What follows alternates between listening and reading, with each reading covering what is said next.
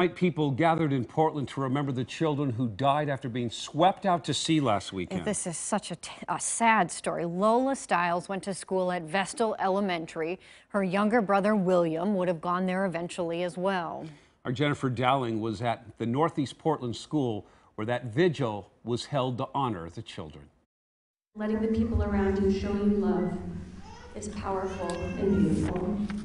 Hundreds filled the auditorium at Vestal Elementary to say goodbye to Lola and her brother William. I think it was just beautiful.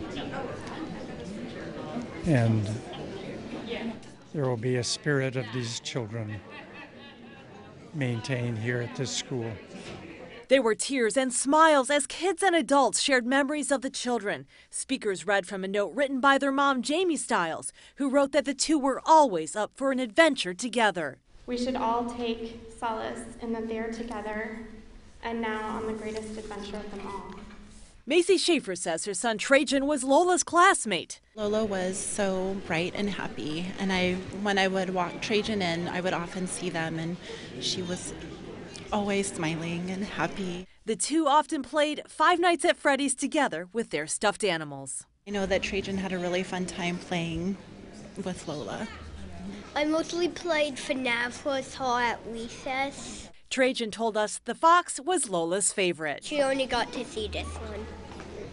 Community members also signed a memorial card in the hallway for the children. It was a beautiful memory for William and Lola, and I'm just so glad to let them know how much the community is supporting them. Their mother, Jamie, wrote that the community support and kind words have helped the family through this tragic time. Your words have been building up like a big wave, bigger than the one that took my babies out to sea.